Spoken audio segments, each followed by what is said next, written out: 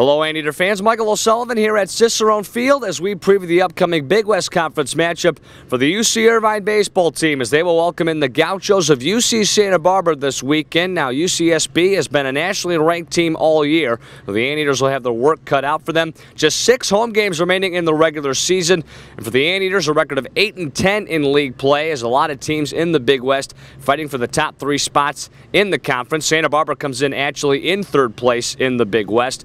For UC Irvine most recently. They fell to USC this past Tuesday night by a score of 8 to 3 here at home. That snapped the five game win streak against the Trojans. We knew coming in that they're a really great hitting team. Uh, Skip went over before the game and went over just said exactly what I just said. They're really good hitting, and our pitchers needed to do what they know how to do and throw strikes and get the outs, get ground balls, and they just hit better than we pitched. UC Santa Barbara comes into this weekend ranked 20th in the country. They have a record of 10 and 8 in league play. The Anteaters 8 and 10 and currently tied for 7th.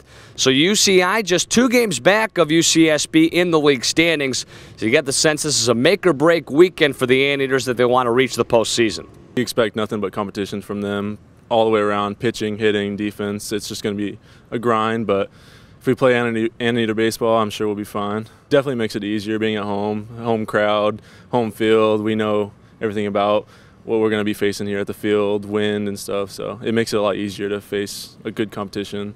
He said he wants us to come out and just play with pride, play with our confidence, and play how we know we can play. Just play hard, don't give up. And just, he just focused on pride mainly. There's a little bit of pressure, but in the long run, it's just it's just baseball. We uh, we play it every single day, and what happens happens. It's game of failure, but we just go out and play baseball, and good things will happen.